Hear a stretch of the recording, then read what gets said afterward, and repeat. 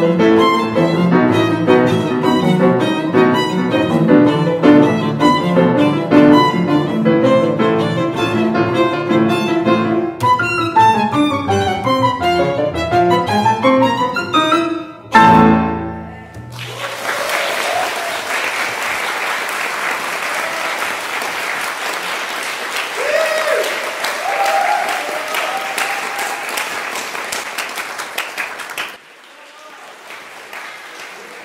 악기를 빰빰 빰 이렇게 악기를 치면 많은 분들이 저희에게 집중을 해주고 공연을 설 수 있는 무대가 그 음악 졸업하고 나서는 그 많이 없거든요. 그래 다시 정말 이 공연 하나를 만들기 위해서 정말 많은 노력을 했는데 이렇게 시간 내주셔서 정말 감사합니다.